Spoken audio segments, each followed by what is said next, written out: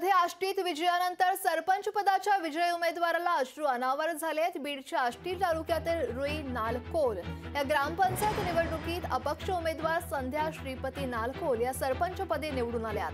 आणि त्यांनी भाजपचे माजी आमदार भीमराव धोंडे यांना धक्का देत सरपंचपदी निवडून आल्यानं श्रीपती नालकोल यांच्या डोळ्यात पाणी आलं.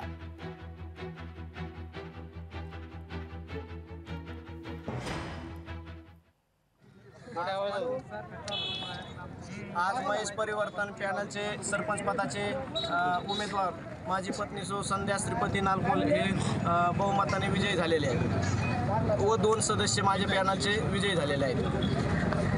तरी सर्व गोरगरीब जनतेने मला जो काय गावातील मतदारांनी माझ्या विश्वास टाकून कामा विश्वास टाकून मतदान केलंय त्याला मी कधीही तडा जाऊ दिला जाणार नाही देणार नाही.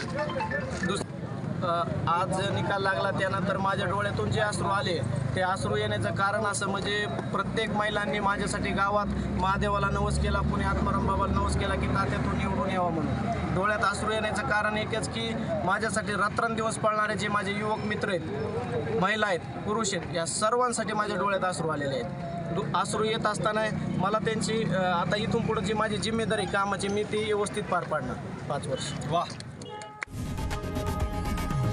लोकशाही मराठी. ऐका पहा जागरूक रहा.